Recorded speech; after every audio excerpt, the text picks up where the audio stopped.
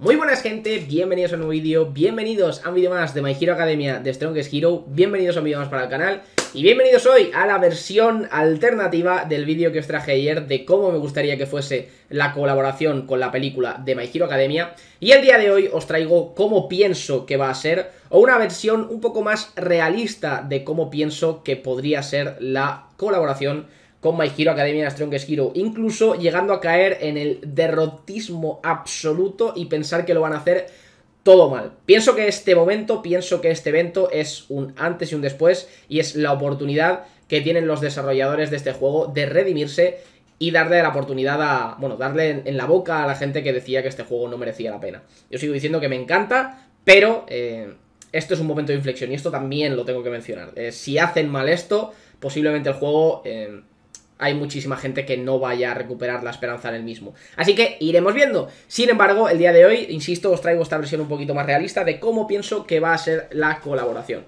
Sin más, obviamente, vamos a revisar de nuevo lo que sería este pequeño párrafo en el cual nos mencionaban qué podíamos encontrar. Y eh, obviamente vamos a saber que tenemos eventos jugables. Y esto me hace feliz, el hecho de que tengamos cosas que hacer de la película. Nos dicen que vamos a poder utilizar a Fleckturn, a Sidero, a Veros, que parece ser que son personajes, insisto, exclusivos de la película, lo cual me hace bastante ilusión que podremos hacer en eventos in-game, donde podemos conseguir bastantes recompensas y a priori también esos tickets los cuales nos servirán para sumonear. Obviamente ya estamos teniendo en cuenta que habrá un banner, tal y como os dije en el vídeo de ayer. Hoy hablaremos de cómo pienso que podría ser ese banner teniendo en cuenta los banners actuales de My Hero Academia Strongest Hero, ¿no?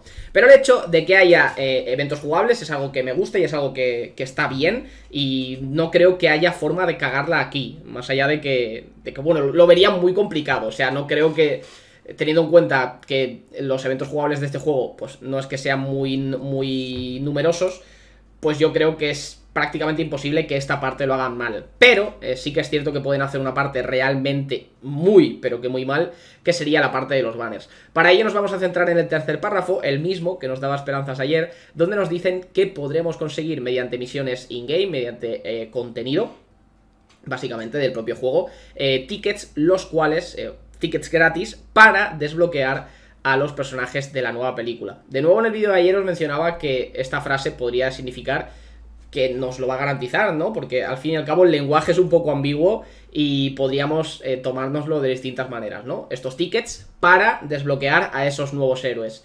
Sin embargo, el hecho de que estos tickets nos sirvan para sumonear en un banner donde estén estos héroes no significaría en ningún caso que nos estuviesen diciendo lo contrario. De hecho, significaría exactamente lo mismo.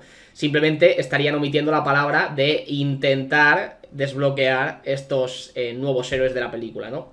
Así que sin más, una de las preocupaciones que tengo sería el hecho de que estos tickets que nos den, que sean, imagínate, 10, eh, 15, 20 en el mejor de los casos, siendo un poco optimistas, obviamente cuantos más den mejor, ¿no? Eh, formen parte de un nuevo banner, porque esto seguramente sí que vaya a funcionar de esta manera, ya sabéis, estos tickets son nuevos, no los hemos visto hasta el momento, y parece ser que son totalmente exclusivos de lo que serían héroes de la película, van a ser para el evento de la película. Pues bueno, teniendo en cuenta que aparecen nuevos tickets, eso significaría que tendría que aparecer un nuevo banner, que esto seguramente vaya a ser así. Ay, que no os lo estaba enseñando, que estaba tapando la imagen, insisto, estos tickets os lo vuelvo a enseñar para que no, haya complicaciones ni, equivocaciones. Estos tickets que, insisto, son, son completamente confirmados que son, son de la película, ¿no? Al ser totalmente distintos al resto de tickets del juego, ¿no? Aquí tendríamos los permanentes, tanto de, personajes como de cartas, y aquí tendríamos los, los del personaje promocional, tanto eh, de tickets como de, como de personajes como de, como de cartas, ¿no? Sin embargo, pues bueno, no tenemos ningún banner que tenga esas nuevas características, ¿no? Entrará ese nuevo banner y falta saber cuáles son las características o cuáles serán las características de ese nuevo banner. Insisto, ayer os mencionaba que podríamos ser optimistas y que en la mayoría de los casos, o que en algún. En el peor de los casos podremos conseguir al menos uno de esos personajes totalmente gratis, con los recursos que nos va a dar el juego en el evento. Pero eh, también nos tendremos que poner en la otra situación en el hecho en el que a lo mejor nos den uno, dos multis como mucho y el resto de tiradas las tengamos que hacer con forma de monedas, que como os he mencionado, si tú te vas aquí y te vas a cómo conseguir estos tickets, obviamente el juego te manda a donde te tiene que mandar, que es a la tienda de monedas, donde aquí por norma general podemos comprar los tickets. Lo más normal sería que también podamos comprar estos nuevos tickets cuando empiece el evento. Lo cual quiere decir que, eh, pues bueno, tendremos que gastarnos nuestras moneditas. ¿Cuál va a ser el problema? Es nuevo banner, ¿no? Eh, nunca hemos tirado ese banner. ¿Qué quiere decir eso? ¿Cómo funcionará el sistema de pity en ese banner? Si es que tiene sistema de pity. Eh, ¿Cómo funcionará? Empezaremos de 0 hasta 100. Tendremos que hacer 100 tiradas en esos nuevos banners para poder conseguir un héroe de la película al azar. Sinceramente, tengo bastante miedo pero hay que tener en cuenta esta posibilidad. Podría ser totalmente posible y de hecho, por desgracia, siendo totalmente realista y sincero con todos ustedes, me da miedo que pueda ser así porque sería lo más normal. Que nos pongan un nuevo banner con 100 de pity y apañaos. No, que yo tenía 70 de pity en el banner principal, entonces eh, con suerte los personajes de la película los podría sacar. No. Al menos uno tal. No, no tiene por qué. Eh, lo más normal es que aparezca este nuevo banner y quizá, quizá comparte Pity con los personajes Feature. Eh, me explico, a pesar de que sean tickets distintos, quizá comparte Pity, porque no dejan de ser personajes Feature, no dejan de ser personajes promocionales. Pero no las tendría todas conmigo. De hecho, pues bueno, me da bastante miedo este aspecto. Así que, insisto, em, de tema de eventos, de tema de, de banners y demás, yo creo que no hay mucho más que mencionar. Insisto, los eventos yo creo que saldrán y que estarán chulos, o eso quiero pensar, tendremos bastantes personajes para utilizar, tendremos nuevas misiones, al fin y al cabo, eso me hace mucha, mucha ilusión.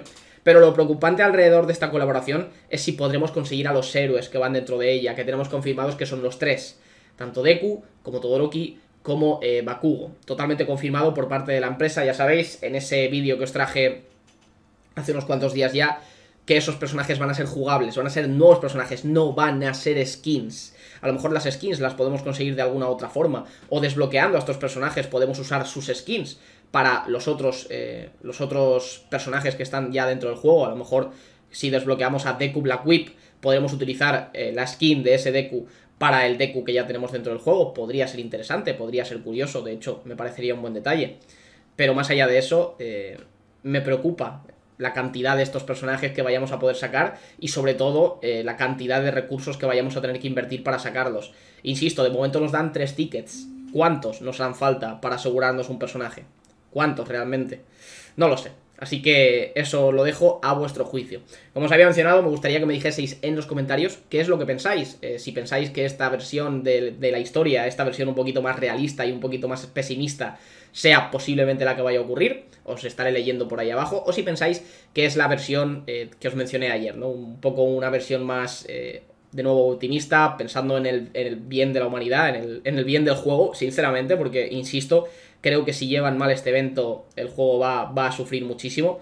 Y ya veremos los posibles boicots que se, que se acerquen con este evento, insisto. O como se había mencionado, si pensáis que sería de esa manera, ¿no? En un evento en el cual nos regalen uno de esos tres personajes, que nos den suficientes recursos como para poder conseguir al menos uno de ellos, eh, o que el banner sea especial y podamos incluso conseguir los tres con eventos farmeables y cosas por el estilo. No sé. Me da miedo, pero espero que funcione bien esta colaboración por el futuro del juego, por el futuro del canal y, bueno, sobre todo por el futuro del juego, porque le tengo muchas ganas, de verdad, es, ya os lo he dicho en muchas ocasiones, es el juego que más estoy disfrutando a día de hoy y espero que se la saquen. Respecto a la fecha de salida, insisto, ya sabéis que el banner de Izawa dura únicamente una semana, así que quién sabe si durante el martes, miércoles que viene ya empezaremos a ver eventitos de la película. Lo iremos viendo.